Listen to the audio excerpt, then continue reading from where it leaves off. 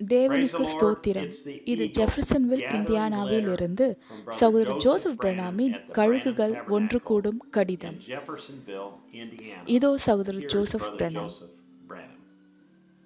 அன்பான கூச்சலிட்டு மற்றும் மகிழ்ச்சியுறும் are நாம் வார்த்தையில் இருக்கிறோம் மேலும் நம் வாழ்வின் மிக சிறந்த. நேரத்தை கொண்டிருக்கிறோம் போதனை அர்ப்பணிப்பு மற்றும் வெளிப்பாடு. டேப்பில் தேவனின் குரலை கேட்பதை விட முக்கியமானது வேற எதுவும் இல்லை இந்த செய்தி தான். நமக்கு எல்லாமுமாக இருக்கிறது. அது நமக்கு முழு திருப்தியை அளிக்கிறது. நம் ஆன்மாவின் தாகத்தை தீர்க்கும் ஒரே விஷயம் தேவன் தம் தீர்க்கதரிசி மூலம் நம்மிடம் பேசுவதை கேட்பதுதான். ஒவ்வொரு நாளும் அவர் தன்னை பற்றியும் நம்மை பற்றியும் அதிக வெளிப்பாட்டை. தருகிறார் டேப்பை இயக்குவதன் மூலம் நாம் அவருடைய வார்த்தையை கேட்கிறோம் அவர் கட்டளையிட்டபடியே செய்கிறோம் என்பதற்கான ஆழமான உறுதிப்பாடு. நாம் அவருடைய ஆடுகள் ஆடுகள் தம்மை தாமே வழிநடத்த முடியாது. அதற்கு ஒரு தலைவர் இருக்க வேண்டும். மேலும் பரிசுத்த ஆவியானவர் நம்மை அவரிடம் அழைத்து செல்கிறார். அவருடைய குரல் டேப்பில் பிழையில்லாத வார்த்தைகளை பேசுகிறது. நாம் அனைவரும் ஒன்றாக இந்த செய்திகளை தற்செயலாக கேட்கவில்லை. அவர் நம்மை தேர்ந்தெடுத்தார். நீதிமான்களின் காலடிகள் கர்த்தரால் கட்டளையிடப்படுகின்றன அங்கே ஏதோ ஒரு காரணம் இருக்கிறது நாம் அதை. கட்டுப்படுத்த முடியாது டேப்பில் உள்ள செய்தியை தான் மணவாட்டி wants. அதை கேட்பதன் மூலம் ஒவ்வொரு வார்த்தையையும் பிடித்து நம்புவதற்கு விசுவாசத்தின் வலுவான கரத்தை நமக்கு தருகிறது.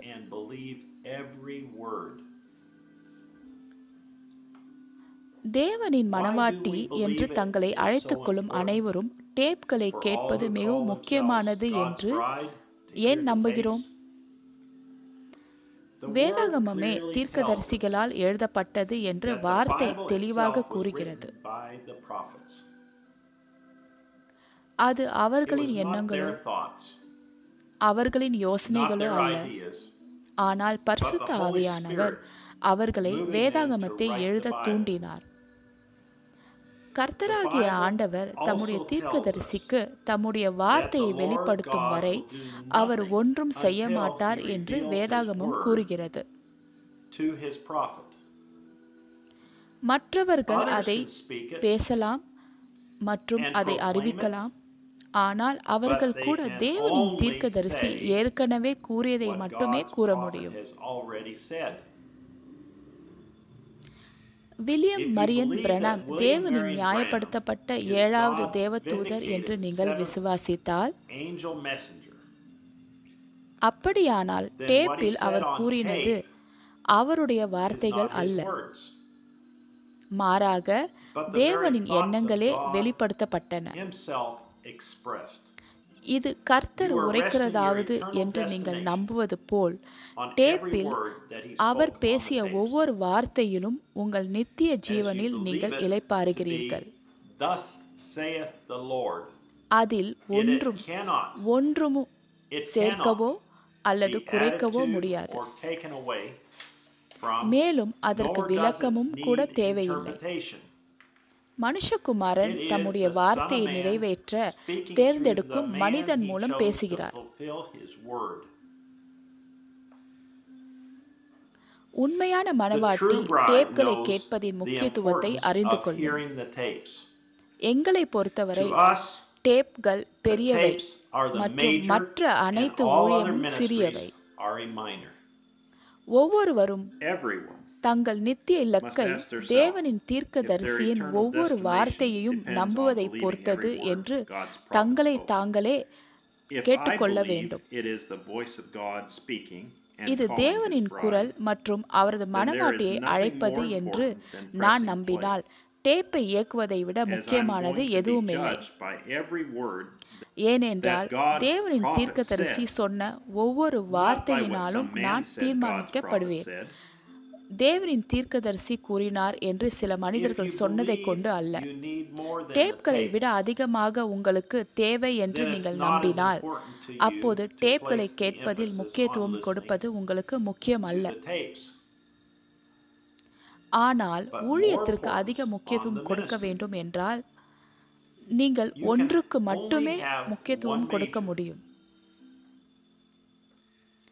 இந்த ஞாயிற்றுக்கிழமை நாம் டேப்பை கேட்கும்போது தேவனே நம்மிடம் பேசி நித்திய ஜீவனின் சட்டபூர்வமான உரிமை பத்திரத்தை நாம். வைத்திருக்கிறோம் என்று கூறுவார்.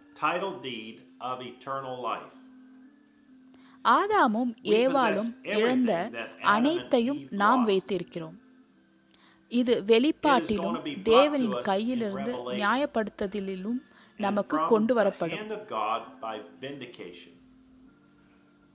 அப்போது அவர் பரலோகத்தில் என்ன நடந்தது என்று நமக்கு கூறுவார் இயேசு தாமே புத்தகத்தை எடுத்து முத்திரையை கிழித்து அதை தாம் தேர்ந்தெடுத்த தீர்க்கதரிசிக்கு அனுப்பி அதை தன் மணவாட்டியிடம் to கொடுக்கும்படி. கூறினார் கூச்சலிடுவதை பற்றியும்.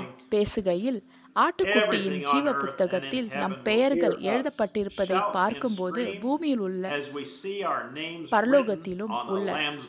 அனைத்தும் நாம் கூச்சலிடுவதையும் அலறுவதையும் கேட்பார்கள்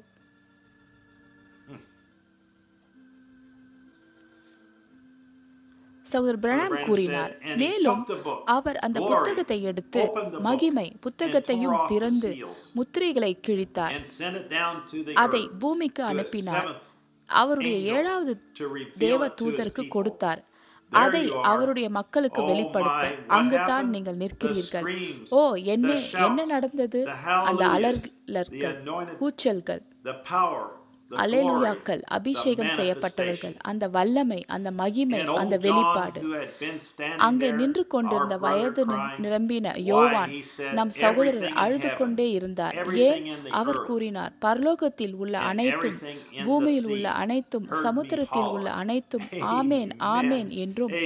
என்றென்றும் ஜீவிப்பவருக்கு துதியும் கனமும் வல்லமையும் உண்டாவதாக என்று கூறும்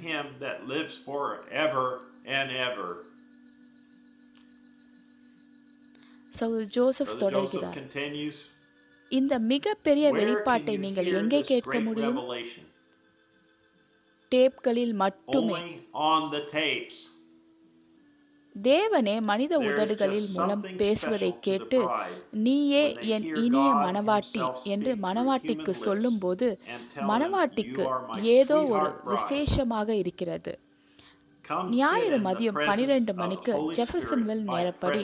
டேப்பை இயக்குவதன் மூலம் பரிசுத்த ஆவியின் முன்னிலையில் அமருங்கள் 12 p.m. அவருடைய ஏழாவது தேவ. தூதர் கொண்டு வந்த அறுபத்தி மூணு டேஷ் பூஜ்ஜியம் மூன்று ஒன்று ஏழு இ அன்று பிரசங்கித்த ஏழு சபை காலங்களுக்கும் ஏழு முத்திரைகளுக்கும் இடையே உள்ள பிளவு என்ற செய்தியை கேளுங்கள் 630317E. நாம் கூச்சலிட்டு மற்றும் மகிழ்ச்சி அடைந்து அல்லேலூயா சொல்லிக் saying hallelujah, சகோதரர் ஜோசப் பிரணாம். செய்தியை கேட்பதற்கு ஆயத்தமாக வாசிக்க வேண்டிய வேத வசனங்கள் message. லேவியராகமம் இருபத்தி ஐந்தாம் அதிகாரம் நாற்பத்தி 25, ஏழு முதல் ஐம்பத்தி 47 ஐந்தாம் வசனம் வரை 55. எரேமியா முப்பத்தி இரண்டாம் அதிகாரம் chapter 32, ஒன்று முதல் பதினைந்தாம் வசனம் 1 வரை through 15. சகரியா மூன்றாம் அதிகாரம் எட்டு 3, முதல் ஒன்பதாம் வசனம் வரை 8 through 9. சகரியா நான்காம் அதிகாரம் chapter 4, பத்தாம் வசனம் verse 10. ரோமர் எட்டாம் அதிகாரம் இருபத்தி 8, இரண்டு மற்றும் இருபத்தி 22 மூணாம் வசனம் 23. எபேசியர் ஒன்றாம் அதிகாரம் chapter 1, பதிமூணு மற்றும் 13 பதினாலாம் வசனம் 14. மேலும் எபேசியர் நான்காம் அதிகாரம் முப்பதாம் 4, வசனம் verse 30. வெளிப்படுத்துதல் ஒன்றாம் அதிகாரம் chapter 1, பனிரெண்டு முதல் பதினெட்டாம் வசனம் 12 வரை through 18. The வெளிப்படுத்துதல் ஐந்தாம் அதிகாரம் முழு அதிகாரமும் chapter 5. மேலும் வெளிப்படுத்துதல் chapter 10, பத்தாம் அதிகாரம் verses 1 ஒன்று முதல் 7. ஏழாம் வசனம் வரை மேலும் வெளிப்படுத்துதல் பதினோராம் அதிகாரம் 11, பதினெட்டாம் வசனம் 18. தேவனுக்கு சித்தமானால் அடுத்த முறை சந்திக்கும் வரை ஷாலோம். மேலும் தேவன் உங்களை ஆசீர்வதிப்பாராக. நாளை ஜெஃபர்சன்வில் நேரப்படி மதியம் பனிரெண்டு மணிக்கு at 12 சந்திப்போம். மேலும் மகிழ்ச்சி. அடைந்து கத்திக் And கொண்டும் be கூச்சலிட்டு கொண்டும் இருப்போம். ஆமேன். தேவன் உங்களை. ஆசீர்வதிப்பாராக